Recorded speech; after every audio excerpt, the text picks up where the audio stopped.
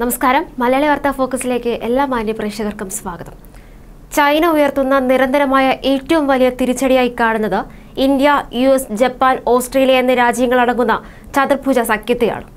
ഈ കോഡ് സംബന്ധിച്ച് ചൈനയുടെ ഉറക്കം കെടുത്തിയിരിക്കുകയാണ്. ചൈന പറയുന്നത് ഈ കോഡ് സഖ്യത്തിന് ദുരുദ്ദേശമുണ്ടെന്നാണ്. ഇതിലൂടെ ലോകരാജ്യങ്ങളെ വരെ മാറ്റി ചിന്തിപ്പിക്കാൻ പ്രേരിപ്പിക്കുകയാണ് ചൈന. എന്നാൽ ഈ കോഡ് സഖ്യത്തിലൂടെ ചൈനയെ കൊല്ലാനല്ല മറിച്ച് വ്യത്യസ്തമായ രീതിയിൽ തിരിഞ്ഞ് ഒരു ചട്ടക്കൂടായി ചൈനയെ പ്രതിരോധിക്കുകയാണ് ലക്ഷ്യം. മലയാളി വാർത്താ പ്രേക്ഷകർ എല്ലാവരും ഈ പുതിയ ചാനലായ മലയാളി വാർത്ത ഫോക്കസ് വാർത്തകൾ ആഴത്തിൽ അറിയുന്നതിനായി ഈ ചാനൽ സബ്സ്ക്രൈബ് ചെയ്യുമല്ലോ അല്ലേ? നമുക്ക് വാർത്തകളിലേക്ക് പോവാം. കോട്ട് സഖ്യത്തെ ന്യായീകരിച്ച് ഇന്ത്യൻ കരസേന മേധാവി എം എം നരവാനെ രംഗത്ത്. ഇതൊരു സൈനിക സഖ്യമായി ചിത്രീകരിക്കുന്നത് ശരിയല്ല എന്നും ചതുർഭുജ സഖ്യം മാത്രമാണെന്നും അദ്ദേഹം പറഞ്ഞു. കോഡ് സൈനിക സഖ്യമാക്കാൻ ഉദ്ദേശിക്കുന്നില്ല.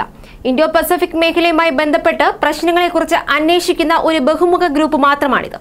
India U S Japan Australia എന്നീ രാജ്യങ്ങളടങ്ങുന്ന ഗ്രൂപ്പാണ് കോഡ്.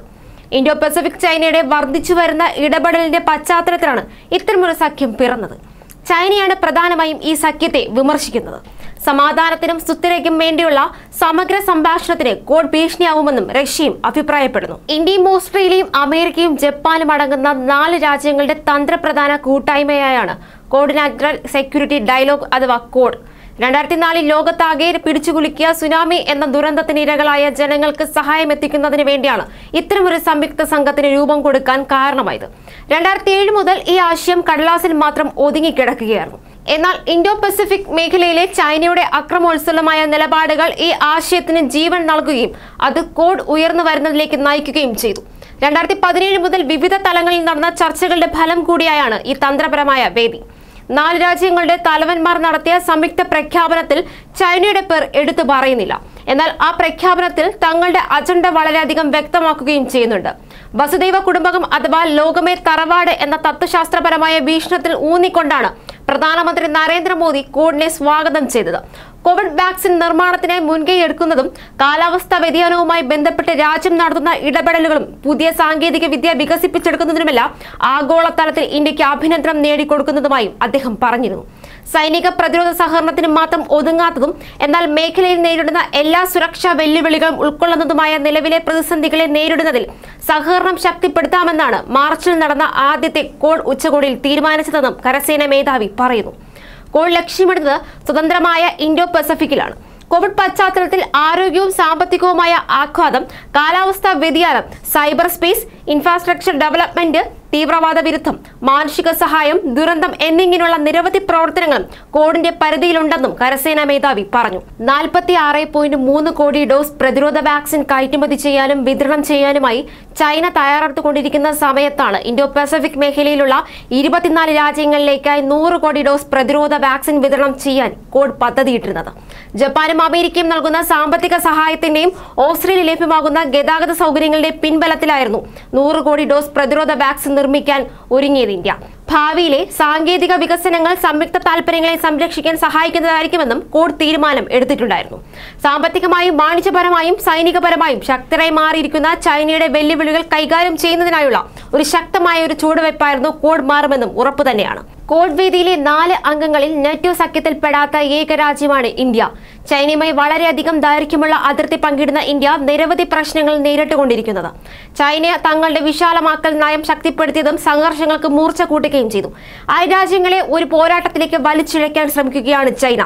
സ്വന്തം കരുത്തിന് തുല്യമാം വിധം ലാളിത്യമുള്ളവരുമായിരിക്കണം രാജ്യത്തിന്റെ നേതൃത്വമെന്ന് ലെങ് സിയാങ്കോ പിങ്ങിന്റെ വാക്കുകൾ പൂർണമായും ലംഘിക്കുന്ന നടപടികളാണ് ചൈന ഇപ്പോൾ പിന്തുടർന്നുകൊണ്ടിരിക്കുന്നത്. അധികാരത്തിലെത്തിയ സമയത്ത് ഒരു പുതിയ പഞ്ചശീല തത്വം കൊണ്ടുവരണമെന്ന് ആഹ്വാനം ചെയ്ത വ്യക്തിയാണ് ചൈനയുടെ പരമാധികാരിയായ ഷി ജിൻപിങ് എന്നാൽ ബെൽറ്റ് ആൻഡ് റോഡ് ഇനിഷ്യേറ്റീവിൽ പങ്കുചേരുവാൻ ഇന്ത്യ വിസമ്മതിച്ചതോടെ അദ്ദേഹത്തിന്റെ സ്വരവും ഭാവവും മാറി. രണ്ടായിരത്തി പതിനേഴിൽ തങ്ങൾ കൂടി ചേർന്നുണ്ടാക്കിയ കരാർ ലംഘിച്ചുകൊണ്ട് ചൈനയാണ് ഡോക്കോം പ്രതിസന്ധി സൃഷ്ടിച്ചത്. വുഹാനിൽ മഹാബലിപുരത്തും നടന്ന ഉച്ചകോടികളിൽ ഊഷ്മളതയും സൗഹാർദ്ദവും പ്രകടിപ്പിച്ച ചൈന പിന്നീട് ലഡാക്കിൽ ഇന്ത്യയുമായി ഏറ്റുമുട്ടാൻ ഒരുങ്ങുകയും ചെയ്തു. പതിനാല് രാജ്യങ്ങളുമായി ഇരുപത്തിരണ്ടായിരം കിലോമീറ്റർ അതിർത്തി പങ്കിടുന്ന ചൈന ഈ പതിനാല് രാജ്യങ്ങളുമായി അതിർത്തി തർക്കങ്ങളിൽ ഏർപ്പെട്ടുകൊണ്ടിരിക്കുകയാണ് ഇന്നും.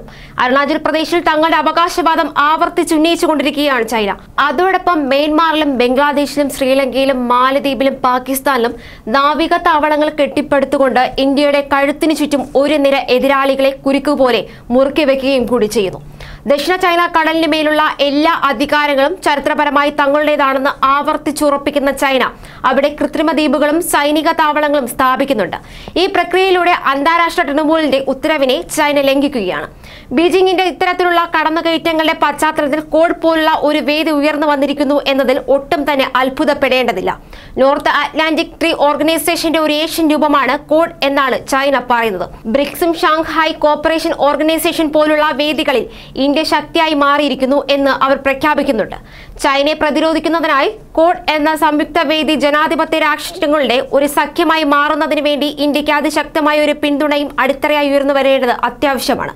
വിയറ്റ്നാമിനോട് ചേർന്ന് കിടക്കുന്ന പല ആളില്ലാ ദ്വീപുകളും അനധികൃതമായി പിടിച്ചെടുത്ത് അവിടെ സൈനിക പ്രസ്ഥാനങ്ങളും മിസൈൽ ലോഞ്ചറുകളും സ്ഥാപിച്ചുകൊണ്ട് പരസ്യമായ ഭീഷണി സൃഷ്ടിക്കുന്നതാണ് ചൈനയുടെ നയം. അവസാനം ഇന്ത്യയോടാണ് ചൈന യുദ്ധകാഹളം മുഴക്കിയിരിക്കുന്നത്.